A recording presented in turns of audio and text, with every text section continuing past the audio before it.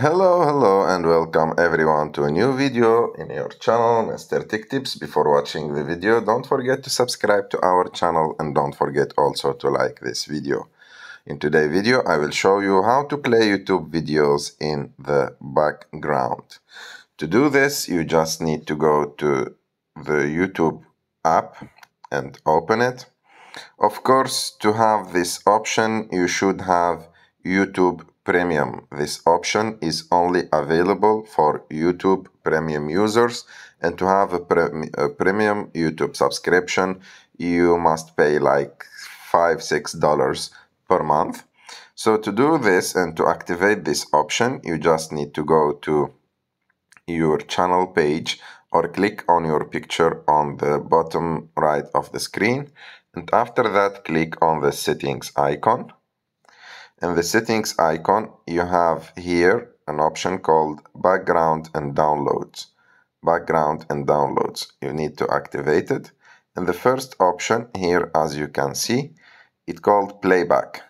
For this one, you can like uh, activate it and put it always on or only when you have headphones or external speakers on your phone or you can turn it off.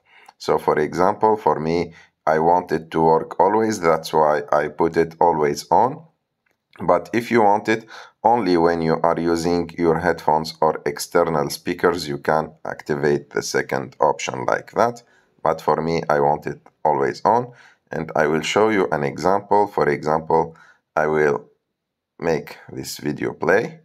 It's uh, music, so I need to like stop the music for the copyright and when I'm out from the like uh, YouTube app the video is still working in the background and if I want to close it I will long press on it and take it down in the screen like that.